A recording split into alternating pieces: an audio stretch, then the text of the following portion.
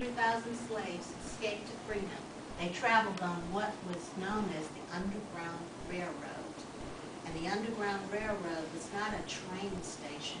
It was a location of houses, caves, different places where people met in secret so that they could help people who look like me, look like you, get to freedom. Did you like that story? You can find this book at the library.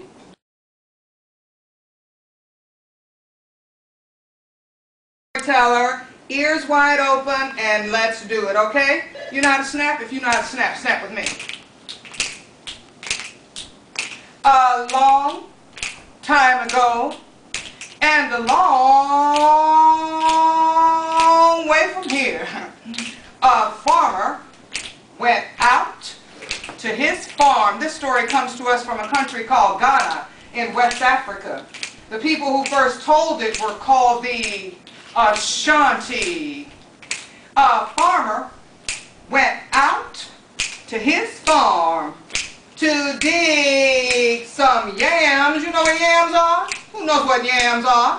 What are sweet potatoes to take to market to sell. But whoa. While that farmer was out in his field digging yams, Yeah.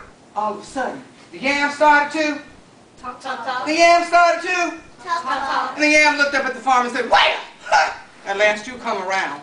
Why, never once before did you come to water me, weed me, or feed me. And now you show up with that digging stick. You, you better leave me alone.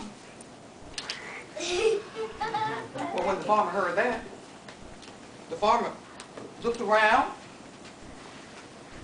to see who it was that was talking to him. And all, all he saw was his old cow. And she was just chewing her cud. Now the farmer didn't see anybody else, so the farmer said to the cow, said, Did you say something? But the cow just kept on chewing her cud. Now the farmer's cow didn't have anything to say, but not very far away there sat the farmer's dog, and all of a sudden the dog started to, the dog started to, and the dog said, hey. It wasn't that cow that spoke to you, it was your yeah, but he said you better leave him alone. But when the farmer heard that, it made the farmer mad. You know why? You know why that made the farmer mad? He didn't like his dog's tone of voice. Besides that, his dog had never spoken to him before. So the farmer went up to cut the branch off the tree so he could switch that dog, but then the tree started to and the tree said, put that branch down. So the farmer went to put the branch down, but then the branch started to, and the branch said, put me down gently. So the farmer put it gently on the stone, then the stone started to, and the stone said, get that thing off me. When the farmer heard that, that did it for the farmer.